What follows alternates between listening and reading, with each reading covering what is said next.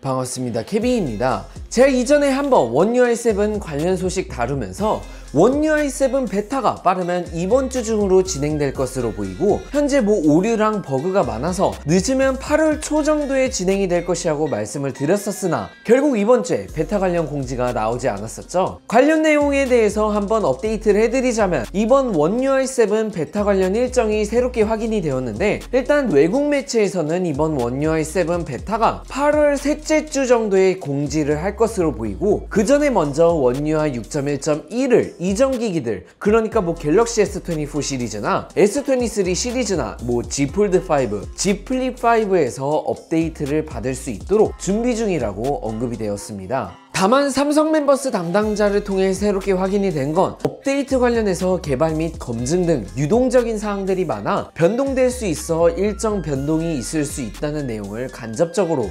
공지하였는데 따라서 업데이트 일정이 바뀔 수 있다는 점 참고해 주시면 감사하겠습니다. One UI 6.1.1 같은 경우 8월 1일부터 15일 사이에 업데이트가 될 것이라고 하는데 말씀드린 대로 S24 시리즈, S23 시리즈, Z Fold 5와 Flip 5가 먼저 업데이트를 받고 순차적으로 One UI 6.1 업데이트를 받은 기기들이 업데이트를 받을 것이라고 합니다. 그래서 오늘 영상에서는 이번 One UI 6.1.1에서 어떠한 기능들이 새롭게 추가가 되는지 간단하게 한번 정리해드리는 시간을 한번 가져보도록 하겠습니다. 제가 한번 준비한 영상으로 바로 넘어가 보겠습니다. 먼저 첫 번째 Galaxy AI 홈이 새롭게 설정 칸에 추가가 되었습니다. 이건 뭐 별거 아닌데 이전에는 향상된 intelligence라고 표시가 됐던 탭이 Galaxy AI라는 명칭으로 바뀌었습니다. 그래서 여기서 어떠한 Galaxy AI 기능들이 있는지 그리고 클라우드 전송 방식 AI를 사용하고 싶지 않고 오직 on-device AI로만 사용하고 싶으면 기기 내에서만 데이터 처리를 활성화해 주실 수 있습니다. 두 번째, Sketch to Image라는 기능이 새롭게 추가가 되었습니다. 삼성 노트 앱에서 대충 그림을 그리면 Galaxy AI를 통해 수채화나 3D로 사물을 대신 그림을 그려줄 수 있거나 아니면 갤러리 앱에서 어떤 해변가 사진이 있는데 여기다가 서핑보드를 그리고 싶으면 Sketch to Image 기능을 켜서 서핑보드를 추가해준다든지 뭐 다양한 방법으로 유용하게 쓰실 수 있을 것 같은데요. 삼성 노트에서는 수채화, 일러스트화, 스케치화, 팝아트화, 3D 카툰화로 다양한 스타일로 이미지를 변환할 수 있고 대략 4가지, 5가지 정도의 예시 예시를 보여주기도 해서 어떤 이미지로 선택을 할지 쉽게 정하실 수 있을 듯하고 다만 AI를 사용했다 보니 AI를 사용했다고 워터마크가 하단 왼쪽 부분에 표시가 됩니다. 이거는 뭐 S펜을 지원하는 폴드6나 폴드5 또는 S24 울트라 뿐만이 아니라 손으로 그냥 그려서 사용할 수 있는 Z 플립6, 플립5 또는 S24, S24 플러스에서도 지원을 합니다.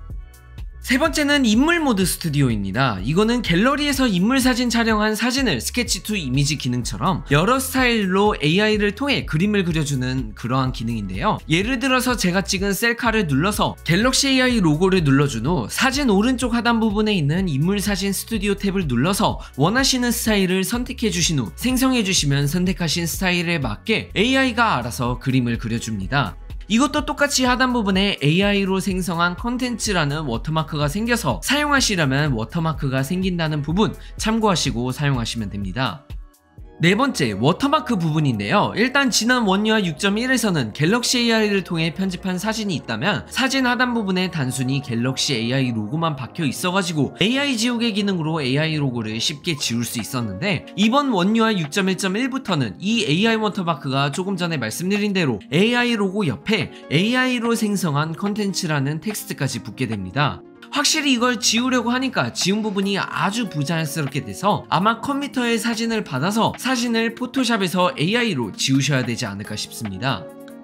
다섯 번째, 삼성노트에서 새롭게 handwriting 기능이 추가가 되었습니다. S펜으로 글씨를 썼을 때 저처럼 막 삐뚤삐뚤하게 쓰시거나 아니면 정렬이 이상하게 되어 있으면 상단에 있는 toolbar에서 볼펜에 magic wand 같이 그려져 있는 아이콘을 눌러서 손글씨를 정렬해 줄 수 있거나 아니면 일반 텍스트로 변환해 주실 수 있습니다. 이건 갤럭시 탭에서도 향후 지원할 것으로 보여지는데 학교에서 수업들은 노트를 S펜으로 그렸는데 글씨가 이상하면 AI를 통해 정렬하거나 아니면 텍스트로 변환해 줄 수 있으니 유용하게 쓰실 수 있을 듯하고 텍스트로 변환해 주는 것도 제가 이상하게 쓴 글씨도 정확도 높게 변환이 되더라고요. 여섯 번째, 삼성노트에서 새롭게 음성을 녹음하거나 녹음 파일을 불러와서 텍스트로 변환해 주실 수 있습니다.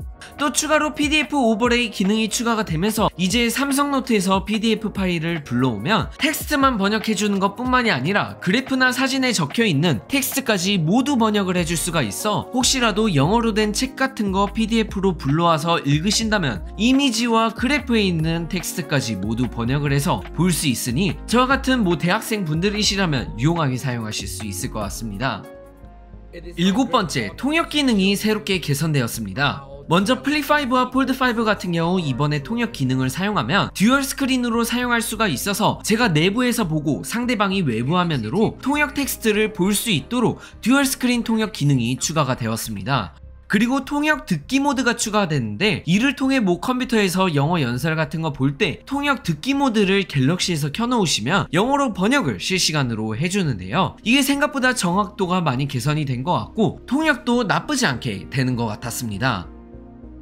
마지막으로 여덟 번째 새롭게 Magic Composer 기능이 추가가 되었습니다.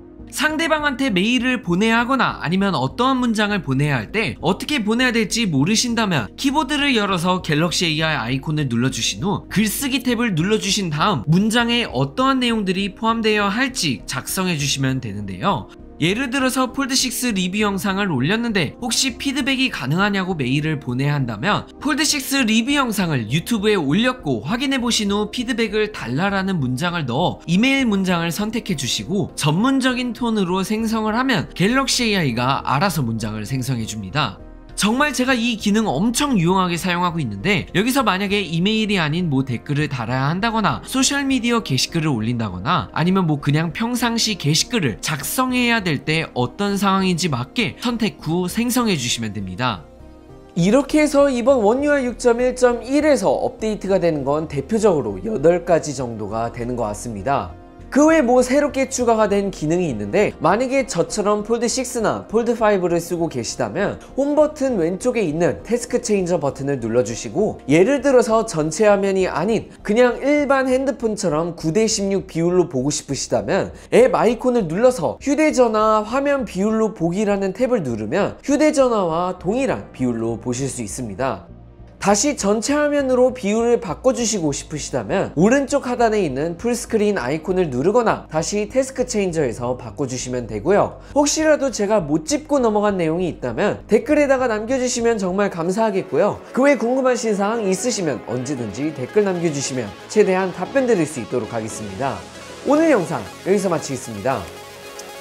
고맙습니다.